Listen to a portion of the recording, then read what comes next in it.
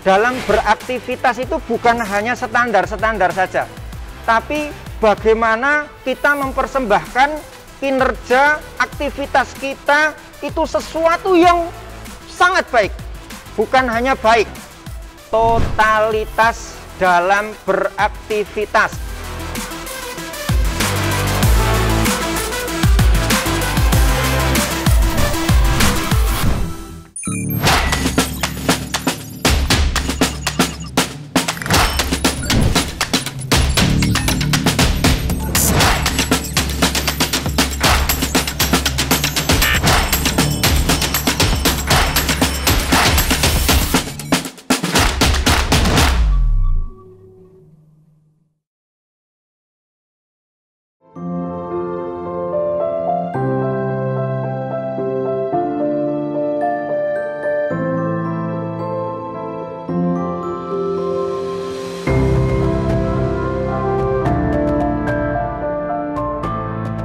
Terlahir dari keluarga petani sederhana, Teguh Wibowo sukses membuka lapangan kerja di daerah kelahirannya Boyolali, Jawa Tengah.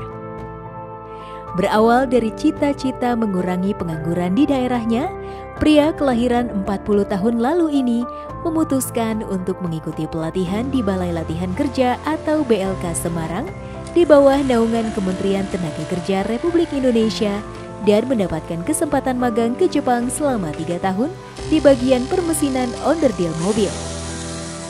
Berbekal pengalaman magang selama tiga tahun di Jepang, Teguh sukses membangun tiga bisnis yang digelutinya sampai saat ini. Pabrik garmen, minimarket, dan bisnis kuliner serba sambal. Oh, nama saya Teguh Wibowo, lahir dari Sukoharjo. Latar belakang keluarga saya adalah uh, petani, petani utun jadi keluarga sama saudara. Dari keluarga bapak ibu semuanya menjadi uh, seorang petani dengan pertumbuhan sama alami uh, ketika waktu kecil sampai besar bermain sama teman-teman alami layaknya orang orang desa. Namun pada saat itu uh, Allah Subhanahu wa taala menakdirkan bahwa saya mempunyai oh, cita-cita, mempunyai cita-cita bagaimana saya ini bisa bermanfaat kepada orang lain. Berawal dari itulah akhirnya uh, saya belajar tentang motivasi-motivasi. Setelah lulus sekolah, saya uh, berlatih bisnis kecil-kecilan pada waktu itu juga di bidang uh, pertanian juga. Kemudian uh, tahun 2007 ada informasi dari tetangga yang uh, ada lowongan magang ke Jepang menjadi Kensuse pada waktu itu. Jadi tahun 2007 uh, dapat informasi dari tetangga yang uh, ada lowongan untuk ke Jepang dari BLK, ya, Balai Latihan Kerja yang saat itu uh, membuka lowongan dari uh, BLK Semarang saat itu.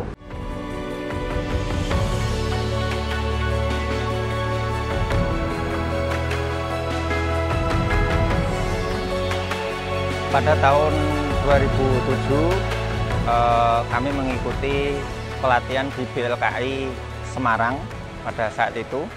Kemudian ada perekrutan eh, ke Jepang dari IM Japan. Eh, Kodarullah, Alhamdulillah kita salah satu peserta yang bisa berangkat ke Jepang. Di BLKI tersebut kita dilatih tentang kedisiplinan, kemudian juga apa itu fisik eh, budaya-budaya uh, yang ada di Jepang dilatih di situ semua. Kemudian pada tahun 2008 kita terbang ke Jepang kemudian di Jepang saya di bagian Kikai Kaku eh, di permesinan membuat onderdil mobil eh, sampai tahun 2011. Yang didapat dari sana pertama adalah pengalaman tentang kedisiplinan. Ya, kemudian ketertiban, kepatuhan kita terhadap peraturan yang dibuat kesadaran kita mematuhi aturan itu yang sangat luar biasa kemudian eh, budaya-budaya eh, tentang bagaimana kita eh, memperbaiki diri. Biasa eh, di sana setiap orang itu banyak ketika ada sesuatu mengucapkan oh saya mohon maaf saya mohon maaf. Nah ini eh, sangat luar biasa di sana. Kemudian dari kedisiplinan kemudian eh, dari ilmu yang didapat dari sana Alhamdulillah pada saat 2010 ada seorang teman yang menghubungi mari kita joinan istilahnya untuk uh, bekerja sama membuat uh, mendirikan suatu perusahaan khususnya perusahaan uh, garment yang sampai saat ini. Pada saat itu kita berhubungan uh, lewat komunikasi, okay, komunikasi.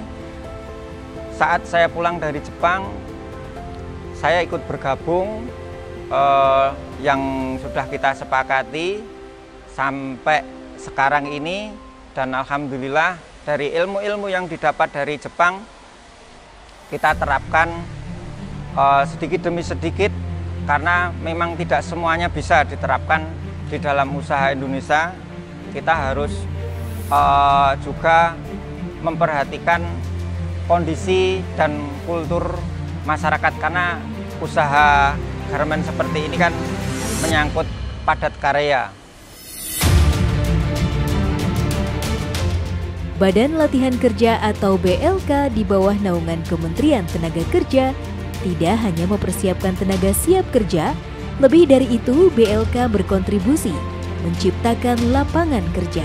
BLK memberikan banyak manfaat dalam membekali para calon profesional ataupun kewirausahaan.